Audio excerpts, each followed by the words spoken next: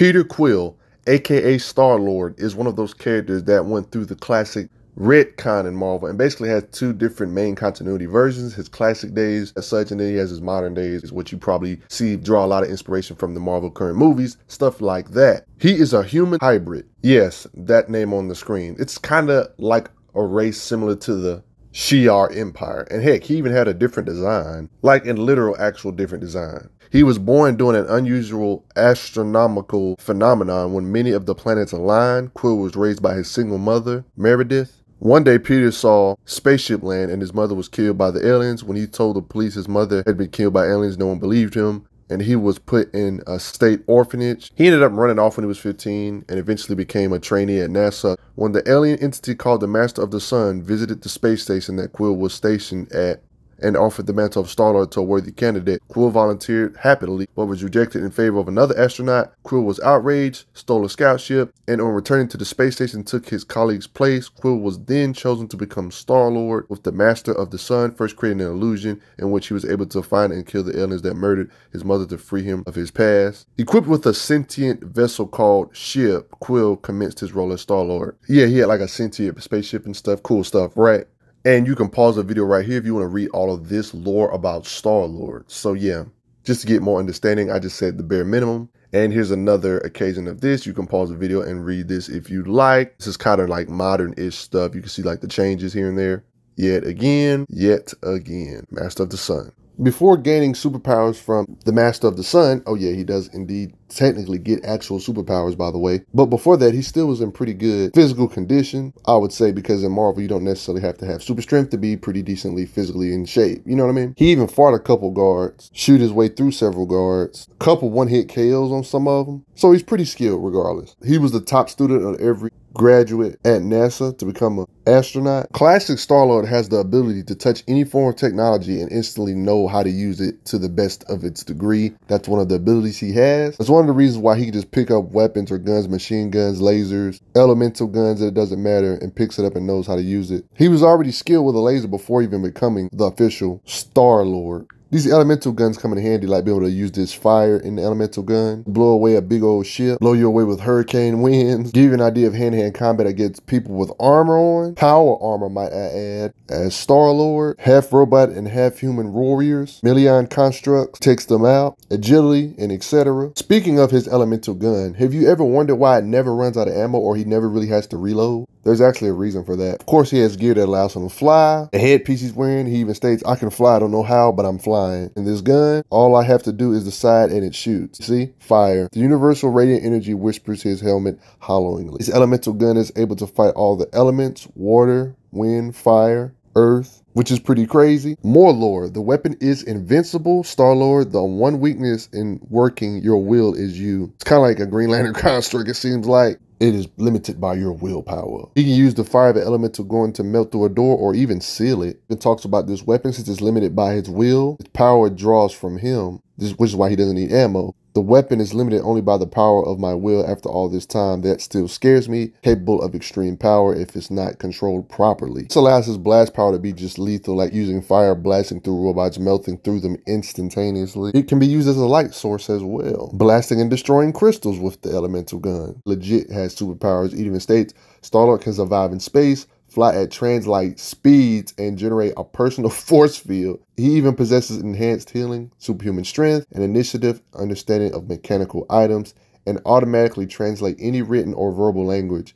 He is a skilled marksman, swordsman, and unarmed fighter, and carries an element gun which generates fire, earth, wind, water by teleporting the material from planet Romulus controlled by his will no one else can fire it. And it states down here, his ship is a sentient living energy in an organic steel form, able to change its size, density, and shape at will. Shares a psychic rapport to, with her so that each feels the other's pain. This mysterious figure known as the Masters of the Sun. This is how he got all these powers, by the way. He selected him to be the Star Lord, Peter Jason Quill. Even he's surprised. He's like, nobody knows my middle name. He says, I am the Master of the Sun and thus Master of the Solar System. He said, But you're not, I mean, you're not God, he says. Do I resemble him? But all men do, Peter. For it is written that God created man in his image. Perhaps I am not what I seem, and you, etc. It is this guy that granted him his suit and his powers. Doesn't even seem to have jet boots on either, just a superpower. Yeah, classic Star-Lord was drastically different, guys prove he can fly faster than light speeds to to really be able to get anywhere in a good amount of time in space. Most spaceships in comics or fiction have to be somewhat light speed. He can fly faster than these ships. Example of why they say he can fly at trans light speed. The Argurian ship he can fly and avoid it and etc. He uses his super speed to catch people from falling to their death because he's fast enough to do that. He can survive in a vacuum. He even states here, the vacuum can hurt me. Like probably like a pun, but they say he can at least attack with the speed of thought. Him and the ship are so connected. He even states here, I share with the ship. Each of us feels the other's hurt. Masters of language. He can instantly learn any language. Master of all things mechanical. He instantly knows how to match stuff. He states here his fingers move quickly, surely over the alien consoles, one touch telling him all he needs to know about their operation. He places old defensive satellites, it says here, to protect you from the slavers, I'll scatter a field of defensive satellites throughout the system and he's highly resistant to psychic attacks, if that makes sense. So about his ship he has a connection with, right? Ship is a former star that gained consciousness when it was forced into going supernova early on in its life. The Master of the Sun, the guy that is responsible for Star-Lord's powers and abilities anyway, the mysterious guy, gave the ship power to take on the form of a spaceship to accompany Star-Lord on his voyages and his adventures. The ship is a living being, like I've said a billion times. Ship and Star-Lord have been in a romantic relationship at times ship can take on the shape of a woman at will. The ship can even change the look like Star-Lord if it wishes. The shapeshifting is so accurate and the transformation is so accurate, the scanners even read this ship as being a human. Like, how crazy is that? But then it changes shape and shows its level of firepower. They are truly a great team. The ship even suggests the safest point of entry for Star Lord. The ship can transfer him information or even schematics on how to detonate something without necessarily killing everybody on board. The precision and nature of these two working in synchronization is a beast. The ship is very versatile when it comes to performing a variety of tasks. My widget here has scanned the Navocomps. Ship can do bio scans. It's for getting a head start on the villains they're about to take on to get an idea of what powers the villains or opponent he's about to face has. On one occasion, finding out beings are a telepath. This reminds me of the accessibility in Final Fantasy, being able to scan your enemies and see what powers and abilities they have. Ha! Can even use their psychic abilities to track down the slavers can do a scan of psychic images, the ship can, to get an exact coordinate to travel to. So they know where they're going. Travels to this one place and it's completely invisible to the tracking system of other places, invisible to the other planets' tracking technology. It can maneuver past all their defenses. So for the most part, there is a difference between classic Star-Lord and current Star-Lord. Classic Star-Lord's pretty beast, I'm not gonna lie. Kind of wish they stuck with that formula, but the new Star-Lord's still cool too. Hard to get a good range of his power, but I would say with his guns, he can at least level buildings or full ships with his laser guns or elemental guns, at least at full blast power using the element of air, I would say, maybe. But personally, I want to jump to the newer stuff shall we? His origin currently is still similar to the old days rather than the Master of the Sun. He got his elemental gun from his father, stuff like that. You know what I mean? But let's dive into how strong is current Star Lord, shall we?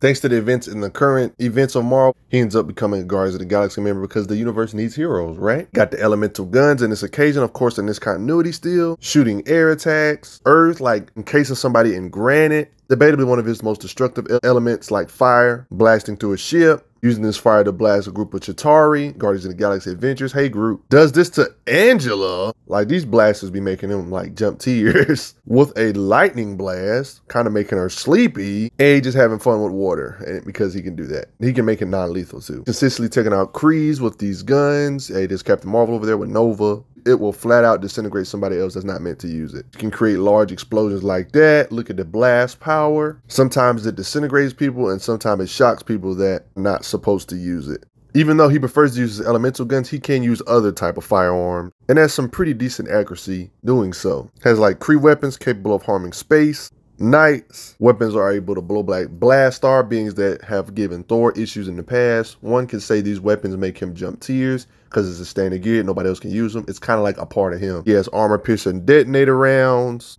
He even fought Cancerverse Giant Man. There was even a time when he had cybernetic implants. You know what I mean? These allowed him to see every energy spectrum. Down here, I see energy spectrums, all of them. It also allows him to remember things word for word. Implanted mem chip 100% effective recall. Other equipments he has is universal translator. His uniform straight on dampens heat signatures. Of course, he has jet boots. Yeehaw. Even has a communicator in his boots. His helmet somehow allows him to survive in space, even though his classic self wouldn't necessarily need that to survive. You know, he could just survive in a vacuum. But, you know, they changed some things about him. Retcons, right? His visor can read enemy signatures. I know his gear seems to be a big part of him, but when it comes to physical, taking out Starhawk with a punch, takes out Gorilla Man with a punch, you know, meta human type characters. Just because he doesn't specialize in super strength doesn't mean he doesn't have it. He's a Marvel. Matches these inhuman people in physical strength, just little small scuffles here and there, even though he got pushed back. Ronan, uh, Silver Surfer tier, moves him with his hits. But yeah, of course, that, that doesn't really matter. He's not really on Ronan's tier, but just take this with a grain of salt